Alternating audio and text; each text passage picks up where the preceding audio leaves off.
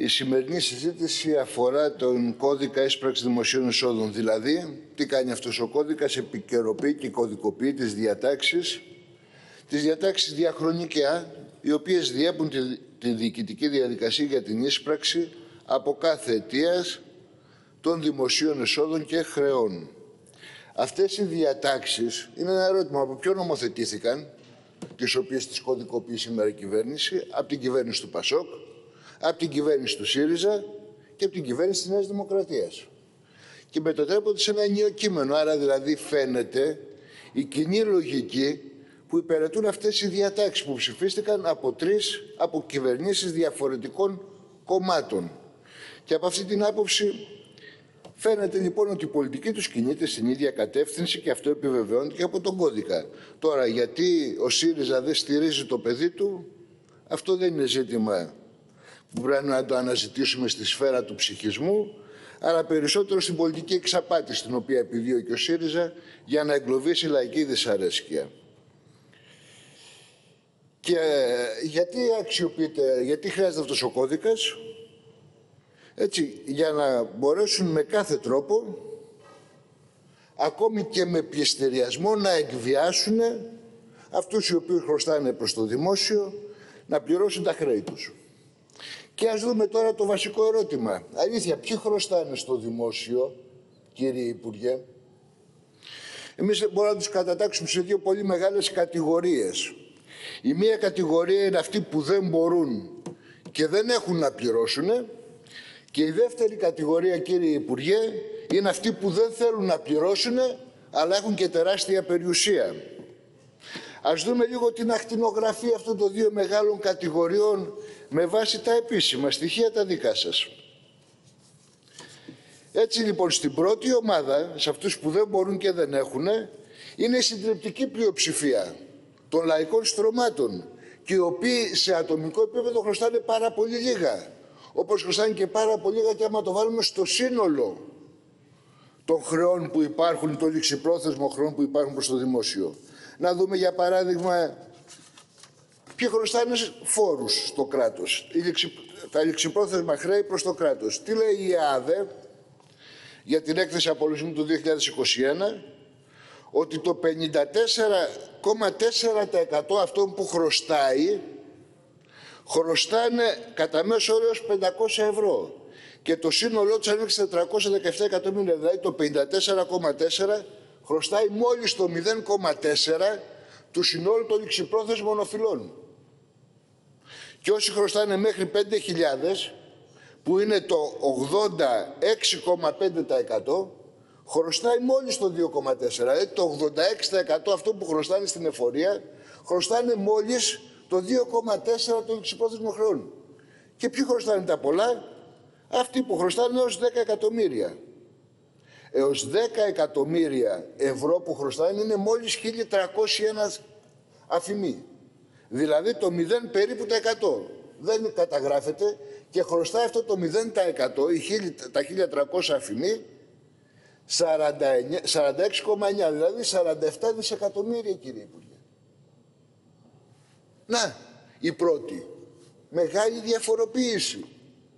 Οι μεν χρωστάνε γιατί δεν μπορούν να πληρώσουν και βέβαια δεν κάνουν αποταμίευση. Τι θα αποταμίευσεις, 500 ευρώ που δεν πήρουν στην εφορία; Θα σωθείς από αυτά; Ενώ οι που χρωστάνε τα δεκάδες εκατομμύρια βεβαίως και αποταμίευση κάνανε και μαύρα και ζεστά τα πήραν αυτά τα χρήματα. Αυγαταίνονται στα περιουσιακά τους στοιχεία και χρεοκοπώνται ταυτόχρονα τι επιχειρήσει του. Η ίδια ακριβώς εικόνα είναι και με τα ασφαλιστικά ταμεία. Τι λέει η τελευταία έκθεση του ΚΕΑΟ, ότι το 90%, το 90,5% μέχρι 30.000 που χρωστάνε, χρωστάει το 28,4% του συνόλου των ληξιπρόθεσμων χρεών προς τα ασφαλιστικά ταμεία. Αυτοί οι οποίοι δεν έχουν τη δυνατότητα, οι αυταπασχολούμενοι, οι έμποροι, οι επαγγελματίες, οι οποίοι πνίγονται στα χρέη, βλέπουν τον τζίρο τους να πέφτει μέρα με την ημέρα, αυτοί χρωστάνε. Ενώ αντίθετα οι μεγάλες επιχειρήσεις, αυτές που χρωστάνε πάνω από ένα εκατομμύριο και είναι μόλις το 1% χρωστάει το 25% στα ασφαλιστικά ταμεία. Να λοιπόν, ποια είναι η εικόνα η οποία διαμορφώνεται; Αλήθεια, αυτή η εικόνα γιατί διαμορφώθηκε, γιατί χρωστάνε οι πολλοί τόσα λίγα; Υπάρχει ένα, μια απάντηση σε αυτό το βασικό ερώτημα.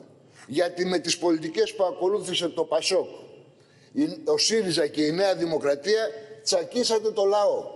Του τσακίσατε το βιωτικό του επίπεδο και όχι μόνο το τσακίσατε, αλλά και τον ληστέψατε από πάνω, στην κυριολεξία.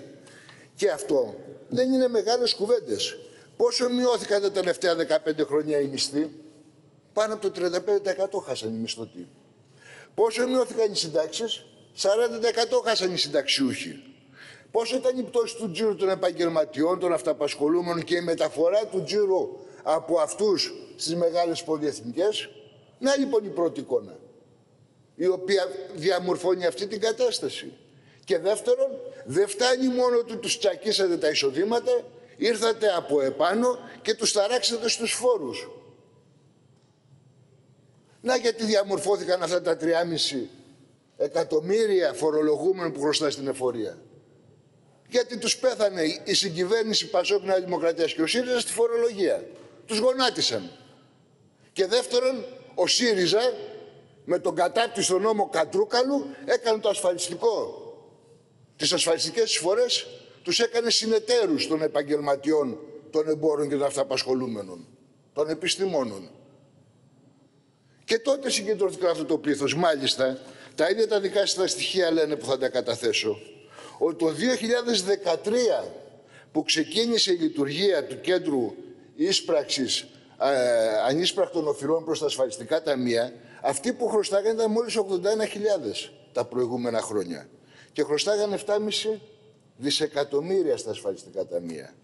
Και ξαφνικά από το 2013 έως τώρα έγινε μια πανολεθρία. Το 2017, νόμος Κατρούγκαλου, ας το ακούσει αυτό ο ΣΥΡΙΖΑ, το ύψος των οφειλετών αυξήθηκε κατά ένα εκατομμύριο και τα χρέη τους κατά 12,7 δις προς τα ασφαλιστικά ταμεία. Να λοιπόν ποιο είναι το αποτέλεσμα του, του, του ασφαλιστικού εκτρώματος του νόμου Κατρούγκαλου. Και για τον ίδιο λόγο είχαν και τα χρέη προς τις τράπεζες, τα κόκκινα δάνεια. Γιατί δεν μπορούσαν να αποπληρώσουν. Είχαν αλλιώς οργανώσει τη ζωή τους και αλλιώς τις οδηγήσατε εσείς με τα μέτρα τα οποία πήραν την τελευταία 15 ετία. Έτσι λοιπόν, οι λίγοι οι οποίοι χρωστάνε τα πολλά, τους αφήνεται στο απειρόβλητο. Αυτοί επωφελήθηκαν από αυτά τα χρέη που δημιούργησαν στις τράπεζες, στα ασφαλιστικά ταμεία, στις εφορίες, γιατί έκαναν περιουσίες μέσα από αυτή τη διαδικασία. Αμύθιτα πλούτη συσσόρευσαν. Και αυτοί είναι συγκεκριμένοι, είναι εφοπλιστές, είναι οι βιομήχανοι, είναι οι μεγαλοεπιχειρηματίες, οι μεγαλέμποροι, οι τραπεζίτες. Και μάλιστα δεν φτάνει ότι αυτοί χρωστάνε τα δισεκατομμύρια. Έρχεται και τους τα διαγράφεται. Ποια λέτε ότι είναι ανίσπρακτα εισφορών, ε, ε, εισπράξεων, ότι δεν μπορούν να εισπραχθούν, τα χρέη των μεγαλοφιλετών. Γιατί είναι ανώνυμες εταιρείες που έχουν μείνει κουφάρια και τις οποίες ό,τι και να εκπληστηριάσετε δεν παίρνετε τίποτα. Ενώ αντίθετα αυτούς που θα κυνηγήσετε και κυνηγάτε είναι αυτούς που χρωστάνε τα λίγα. Γιατί; Γιατί έχουν κάποια ελάχιστα περιουσιακά στοιχεία στο όνομά τους. Γιατί δεν έχουν αυτοί οι μικροί.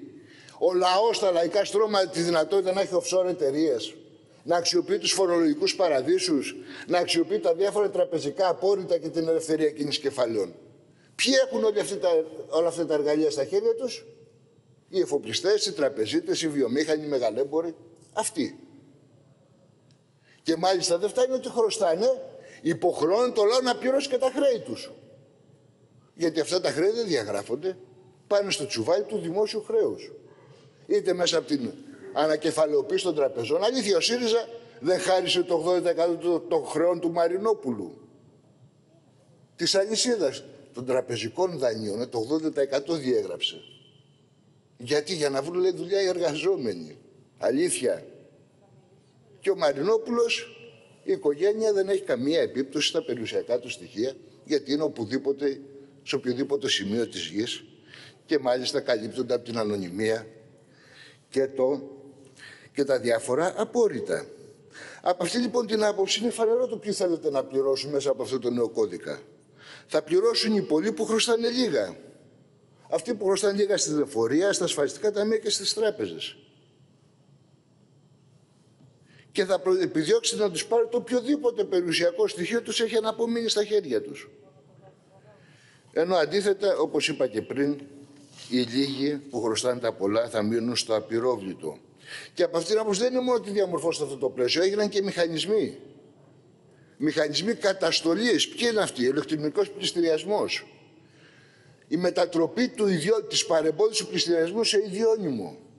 Και με αυτό το νόμο του ΣΥΡΙΖΑ, το ιδιώνυμο κυνηγάνε σήμερα το Γενικό Γραμματέα της Ομοσπονδίας Οικοδόμων και μέλος Κεντρικής Επιτροπής του ΚΟΚΕ, το Βάλσαμο Συρίγο, ότι είναι, λέει, επικεφαλής εγκληματικής οργάνωσης, γιατί εμπόδισε πληστηριασμούς. Να σε τι σημείο έχει φτάσει η πολιτική σας με αυτούς τους νόμους που έχουν ψηφιστεί όλα τα προηγούμενα χρόνια. Και εδώ θέλω, κύριε Πρόεδρε, θα πάρω και τη δευτερολογία μου. Θέλω να βάλω και στο τραπέζι την πολιτική ανηθικότητα του κυρίου Αλεξιάδη, του εισηγητή του ΣΥΡΙΖΑ, γιατί η τοποθέτησή του ήταν πολιτική, πολιτικά ανήθικη, όταν επιχείρησε να ταυτίσει τη Νέα Δημοκρατία με το ΚΚΕ.